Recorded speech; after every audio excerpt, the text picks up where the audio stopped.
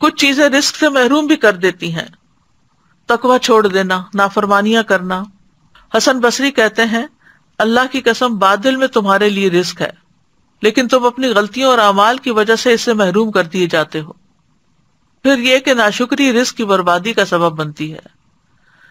मसलन, नाशुक्री क्या है? आप खाना देखें, क्या पका हुआ है? ओह, जैसे आमतौर पर बच्चे करते हैं तो ये नाशुक्री है।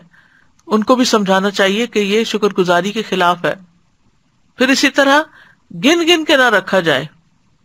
हज़रत असमा बिनते अभी बकर कहती हैं कि रसूल अल्लाह वसल्लम एक मरतबा मेरे पास से गुजरे, उस वक्त मैं कुछ गिन रही थी और उसे नाप रही थी। फरमाया असमा गिन गिन के ना रखो, वरना अल्लाह भी तुम्हें गिन गिन कर देगा। कहती है कि रसूल अल्लाह वसल्लम के इस इरशाद के बाद मैंने अपने पास से कुछ जाने वाले या आने वाले को शुमार नहीं किया, नहीं, कुछ मेरे पास आया कितना माल आया, कितना गया, उसको मैंने कभी गिना नहीं। आने वाले रुपए पैसे को मरा दे। और जब भी मेरे पास अल्लाह का कोई रिस्क खत्म हुआ, अल्लाह जल्ला ने मुझे उसका बेहतर बदल अता कर दिया। जो खर्च न करे, उसका माल तल्फ होता है।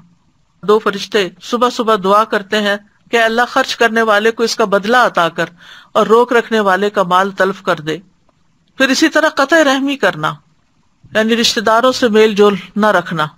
सिर्फ़ दुनिया का हम गम लगाना, जो अपनी फ़िक्र आखिरत को बना लेता है, अल्लाह ताला उसके तमाम उमूर जमा कर देता है और उसके दिल को बेनियाज कर देता है।